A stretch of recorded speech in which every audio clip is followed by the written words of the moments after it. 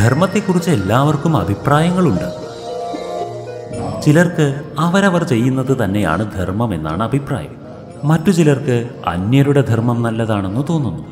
എന്നാൽ ധർമാധർമ്മങ്ങളെക്കുറിച്ച് ചിന്തിക്കാത്തവരായി ഈ ലോകത്തിൽ ആരും തന്നെ ഉണ്ടാകുമെന്ന് കരുതുന്നില്ല.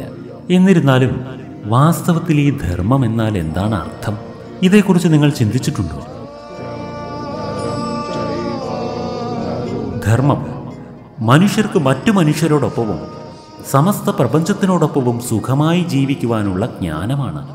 ഈ കാരണം കൊണ്ട് തന്നെയാണ് ഏതെങ്കിലും ധർമ്മസ്ഥലങ്ങളിൽ ചെല്ലുമ്പോൾ നമ്മൾ സുഖവും ശാന്തിയും അനുഭവിക്കുന്നത്. അതായത് ധർമ്മം മനുഷ്യന്റെ സമസ്ത സംഘർഷങ്ങളും നശിപ്പിക്കുമെന്നതാണ് സത്യം. അതായത് ഈ ലോകത്തിലുള്ള സമസ്ത മനുഷ്യരും ഒരു സംഘർഷങ്ങളും കൂടാതെ ജീവിക്കുക എന്ന കാര്യം സംഭവ്യമാകുന്നത് എപ്രകാരമാണ്? ഒന്ന് ചിന്തിച്ചു നോക്കിയാലും എവിടെ സ്നേഹമുണ്ടാകുന്നുവോ അവിടെ സംഘർഷവും ഉണ്ടാകണമെന്നുണ്ടോ നിങ്ങളോട് ഈ ചോദ്യം ചോദിക്കുകയാണെങ്കിൽ നിങ്ങൾ പറയും തീർച്ചയായും ഉണ്ടാകും. സ്നേഹമുള്ളിടത്തേ സംഘർഷമുണ്ടാകൂ. സംഘർഷം സ്നേഹത്തിനോടൊപ്പമുള്ളതാണ്. ഇങ്ങനെയെല്ലാം നിങ്ങൾ പറയുവാൻ സാധ്യതയുണ്ട്. എന്നാൽ വാസ്തവത്തിൽ സംഘർഷമുണ്ടാകുന്ന സമയത്ത് സ്നേഹത്തെക്കുറിച്ച് നാം വിസ്മരിക്കുകയാണ് ചെയ്യുന്നത്. സംഘർഷമുണ്ടാകുന്ന സമയത്ത് അവിടെ സ്നേഹത്തിന് സ്ഥാനമില്ല. അവിടെ ആഗ്രഹങ്ങൾക്കാണ് സ്ഥാനമുണ്ടാകുന്നത്. ആഗ്രഹങ്ങൾ സംഭവിക്കാതെയാകുമ്പോൾ അഹങ്കാരം ജന്മമെടുക്കുന്നു. അഹങ്കാരത്തിൽ നിന്ന് ക്രോധവും ഉണ്ടാകുന്നു. എന്നാൽ സ്നേഹം മാത്രം അവിടെ ഉണ്ടാകുന്നില്ല. അവിടെ സ്നേഹം ജന്മമെടുക്കുന്നില്ല. എന്തുകൊണ്ടെന്നാൽ എവിടെയാണോ സ്നേഹം ഉണ്ടാകുന്നത് അവിടെ സമസ്ത സംഘർഷങ്ങളും സമസ്ത യുദ്ധങ്ങളും സമസ്ത വിവാദങ്ങളും സമസ്ത അഹങ്കാരത്തിന്റെ മുഖങ്ങളും അപ്രത്യക്ഷമാകുന്നതാണ്.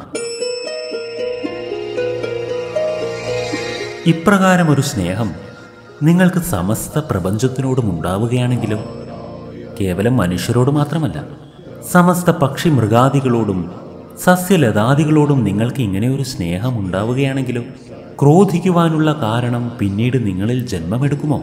ഒരിക്കലുമില്ല.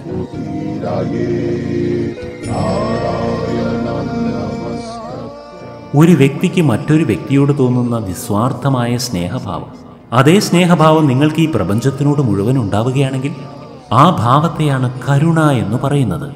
അതായത് സമസ്ത വിശ്വത്തിനോടുമുള്ള സ്നേഹം. ഏവരോടും സ്നേഹമല്ലാതെ മറ്റൊരു വികാരവുമില്ലാത്ത അവസ്ഥ. എവിടെയും ആരോടും തന്നെ ഒരു വിരോധവുമില്ല.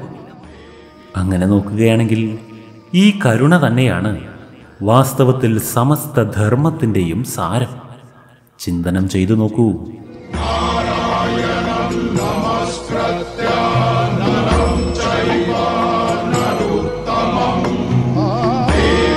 सरस्वती